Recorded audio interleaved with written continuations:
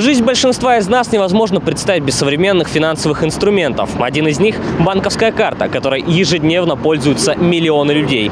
Но какие есть от этого плюсы и минусы? Спросим у специалистов. А прежде небольшая статистика. У 70% россиян есть хотя бы одна пластиковая карта, у 23% две карты, у 2% 4 и более. И все чаще их используют пенсионеры. Вы получаете пенсию на банковскую карту или наличными? На банковскую. А почему? Так лучше? Да, мне удобно это. А почему удобнее? Ну, потому что на почту ходить, там очередь большая. Нагружать лишний раз э, почтальонов не хочется. Наличными. Наличными получаете? Да. А почему это удобнее для вас? Для меня удобно, когда я сама все все беру и все знаю и все. А по карте я не люблю. Я не на карту, я на счет получаю, а потом перевожу на карту. Ну, мне удобнее просто. И все. Потому что я пользуюсь онлайн-банком, я потом все расчеты делаю, оплату ком-услуг и всего я это делаю через, через карту. Но что лучше, наличные или все же пенсионная карта? Эксперты уверены, не используя этот современный финансовый инструмент, люди упускают выгоду. Так, пенсия наличными – это только та сумма, которую выплачивает государство. Если же пенсию получать на карту, то помимо стандартной суммы можно ожидать дополнительный ежедневный процент на остаток средств, повышенный процент по вкладу, возврат части средств от покупок в виде бонусов и реальных рублей. Кроме того, есть возможность, не выходя из дома, оплачивать услуги ЖКХ без комиссии оператора оператора.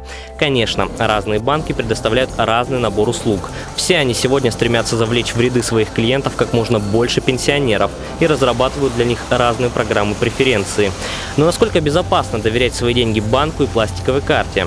Вопрос стоит особенно остро. Если обращаются мошенники с просьбой принести деньги, якобы родственник попал в беду, либо обращаются продавцы чудо-товаров с просьбой приобрести здесь сейчас, то здесь на помощь приходит как раз-таки банковская карта, так как необходимо будет снять наличные. А значит, будет время для того, чтобы подумать, либо посоветоваться с родственниками.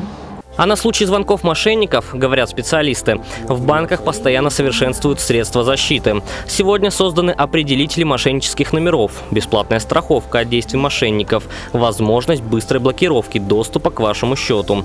К недостаткам карт те же пенсионеры относят отсутствие банкоматов нужного банка в шаговой доступности. Во многих банках, в том числе и нашем, есть специальные предложения для пенсионеров. Такое, как снятие наличных в любых банкоматах можно осуществить без комиссии.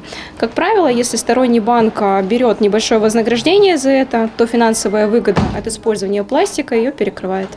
Представитель банка привел наглядный расчет. Так можно существенно экономить на комиссиях при оплате коммуналки, иметь дополнительный доход при открытии накопительного счета.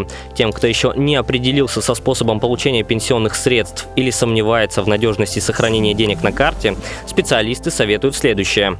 Банковская карта – это надежно и удобно. Не нужно будет обращаться в отделение банка для того, чтобы платить ту же коммуналку. А сейчас для пенсионеров доступно приложение, которое они могут проверить все свои операции. Ну а если же при использовании смартфона у него возникают какие-то сложности, уверены, что родственники могут в этом помочь. Ну а также при обращении в отделение банка, конечно же, специалисты подскажут клиенту, как пользоваться приложением.